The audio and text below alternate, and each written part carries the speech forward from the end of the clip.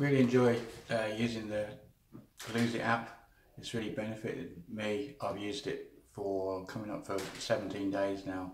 It's choice. You don't. You're not tied to any diet. You're not tied to what you want to eat, and it's really the daily devotionals or da daily um, stories that were put on, uh, audio.